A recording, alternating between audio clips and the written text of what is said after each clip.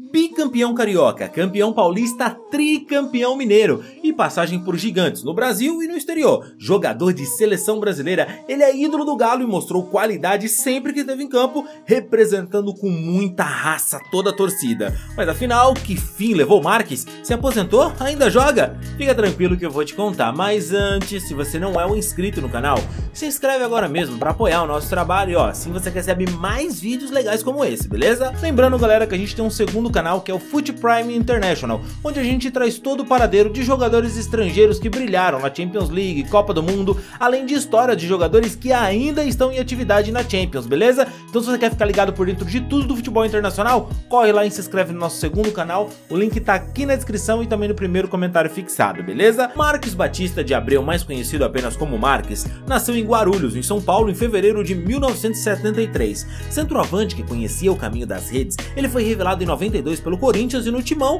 ele faturou a Copa Bandeirantes de 94, o Campeonato Paulista em 95, além da Copa do Brasil no mesmo ano com a camisa do Alvinegro Paulista. Cores essas que viriam novamente a marcar a trajetória do jogador no futebol. Em 96 ele teve uma passagem no Flamengo e no Gigante Carioca sua passagem teve lá o seu quê de discreta. Voltou ao São Paulo em 97 para defender o tricolor paulista, o São Paulo, e em 97 então ele voltaria a vestir preto e branco, mas não pelo Corinthians, Uai, não era? Uai, não era mesmo, só. Vestiria a camisa do Alvinegro Mineiro, o Atlético Mineiro, o galão da massa. E não é por qualquer motivo que eu dou essa ênfase na vitoriosa trajetória de Marques no Galo, pois apesar de ter uma carreira que já contava com algumas convocações para a seleção olímpica e depois do Galo se tornou seleção principal, e até mesmo por já ter ganho títulos de expressão quando ele chegou ao Atlético Mineiro, já contava com algumas boas taças no currículo, foi no Galo que o Marques realmente ganhou projeção nacional. Era o matador do Galo. Em seu primeiro ano no Atlético Mineiro, Marcos foi campeão sul-americano invicto no time comandado pelo treinador Emerson Leão,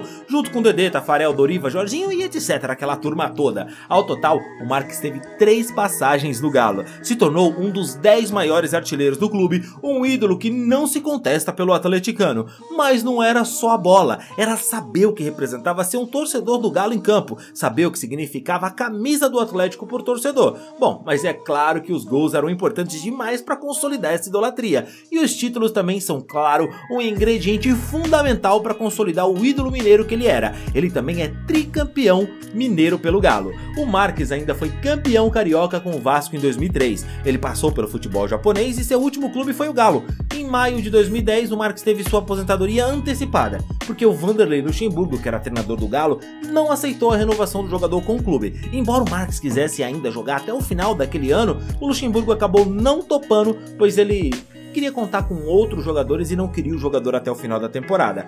Mas a história queria ser escrita de um jeito que a torcida do Galo precisaria se lembrar de Marques, já por tudo que ele tinha feito e também pela forma como ele encerrou. Seu último gol foi na finalíssima do Campeonato Mineiro em 2010, Galo 2 e Patinga 0, onde o Galo, claro, saiu campeão. O xodó da torcida entrou no segundo tempo e poucos minutos depois ele fez um gol que entrou para a história e para a memória do torcedor do Galo. Em dezembro de 2017, 2007, após sua aposentadoria, o jogador foi convidado para assumir a função de coordenador de bases da categoria do Atlético Mineiro e em fevereiro de 2022 ele assumiu a diretoria de futsal do Galo e vem trabalhando para trazer novos talentos para o clube. Mas e você, se lembra do Marx? Ele teria vaga no seu time? O Vanderlei foi injusto com ele? Qual a sua opinião?